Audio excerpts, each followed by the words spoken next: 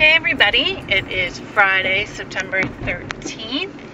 I'm on my way home from the gym and uh, I am going to get ready and go out to dinner with my gym peeps.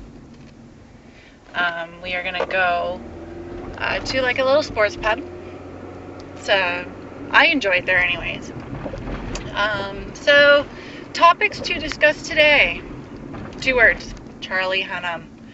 I've never read Fifty Shades of Grey, nor will I. One, I don't do mommy porn.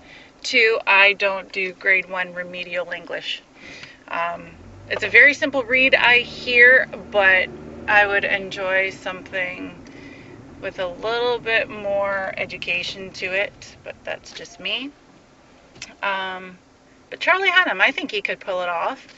Sons of Anarchy is one of my favorite shows, and you see his ass a few times, and it's not a bad ass at all. So I think that he could do it. Now, I have no idea who this Dakota Fanning chick is. Apparently, she's the daughter of two very famous people, yet I still don't know who the hell she is. Um, I do agree with the critics, um, or at least some fans, saying that Alexis Bledel would be better at it, which she does have that, you know, I'm a 12 year old innocent girl kind of face. But I'll give this Dakota Fanning or Dakota Johnson person a try. But I will most likely go see it just for those two words, Charlie Hunnam.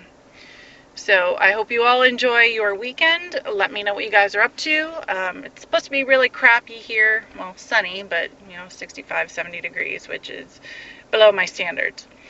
So I will most likely be changing out my wardrobe, my summer to my winter and fall. So hope you all have a great weekend. Let me know what you're up to. Bye.